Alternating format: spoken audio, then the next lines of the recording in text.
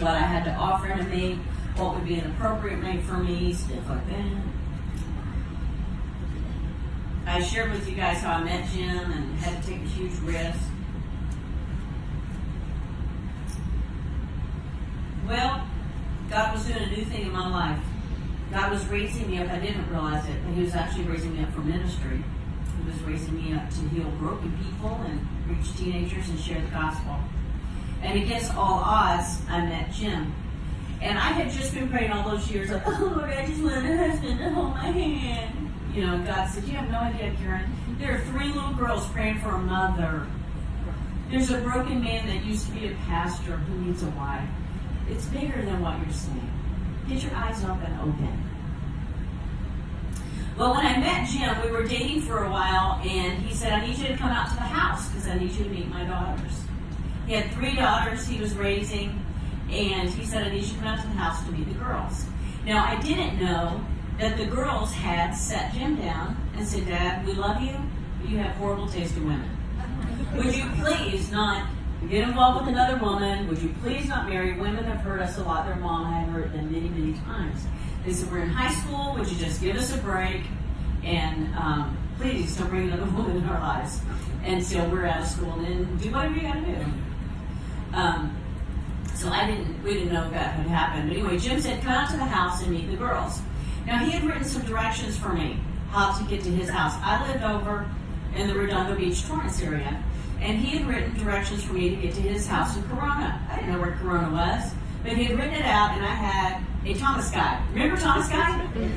So um, I had my Thomas guide. I opened it out. I was reading my Thomas guide. I'm in my little red Honda stick shift, and I'm driving out to Jim's house, and I have my little directions, and I'm like, this is so neat. I'm going out to this man's house, and we knew we were getting married. We were in premarital counseling. We were reading all the books and working really hard. And he said, "Come out, meet the girls."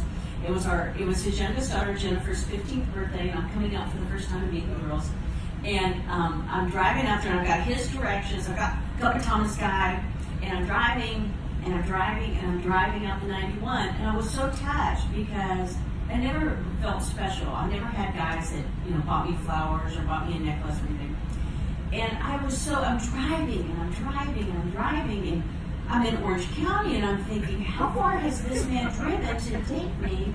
And it really touched me and I thought, I never even felt like anyone would be inconvenient. My dad never even bought me school shoes. You know, I can't believe this man's been driving this far to date me. And I'm driving, I'm driving out the 91, and my Thomas guide ran out. it was LA Orange County, and I thought, where on earth am I going? And I'm reading his little piece of paper. I wish I had kept it. Little piece of paper, 91 freeway.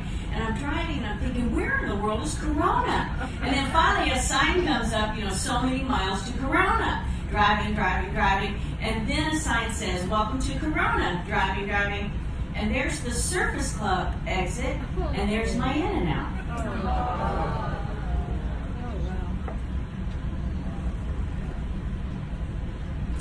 There's my In and Out. Where I said, I don't care how bad my life looks. I believe that God is going to restore my life. I don't know how, I don't know when, but I have a great and mighty God. And if He can restore Ruth's horrible mess, He can restore my life.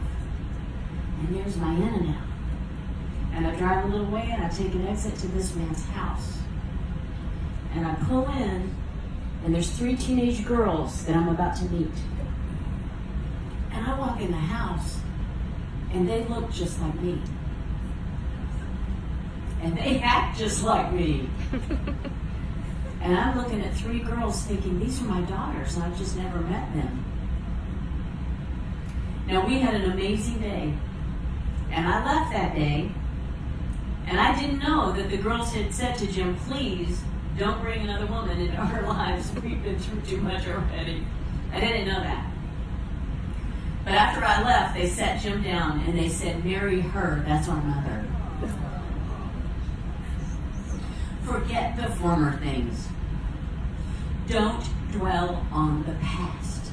God says, see, I'm doing a new thing. It springs up before you. I can bring streams in a desert. I can make a way in the wilderness.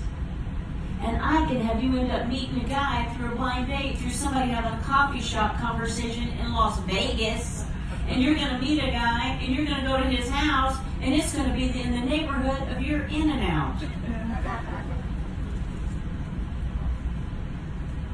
Now, I want to encourage you, it's time for a paradigm shift. Stop looking backwards. Stop hanging on to the past. It says don't dwell on the past. Dwell means camp out and live there. God says, I'm doing a new thing. Don't you see it? You could miss it if you're not looking. Get into the scripture, hang on to absolutely every promise, and if God can restore Ruth's life, God can restore my life, God can restore your life. I don't know what it's going to look like, but God can use your life in big ways. It's time to wrap up and pray. Phew. I want to encourage you right now as we're going to move into a time of prayer. It might be that you're still